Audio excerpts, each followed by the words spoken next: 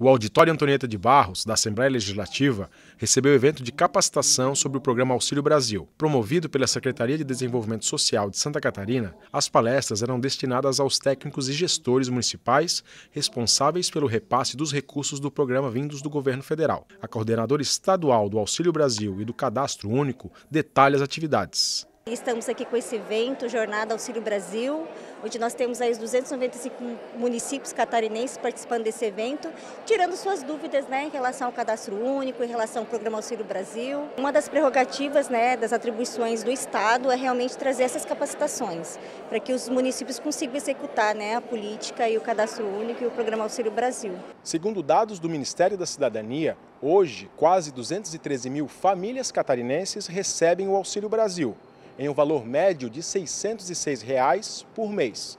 E uma das novidades do programa é que a população pode acessar diretamente o portal da cidadania para pedir o benefício. A gestora do programa em Agrolândia, município no Alto Vale do Itajaí, acredita na importância do encontro. É fundamental porque quanto mais conhecimento nós, no município, na ponta, que diariamente atua com os nossos usuários, com os nossos beneficiários, quanto mais conhecimento a gente tem, mais conhecimento a gente consegue repassar aos nossos usuários, potencializando eles, né, mediante direitos e acessando os benefícios e os direitos deles.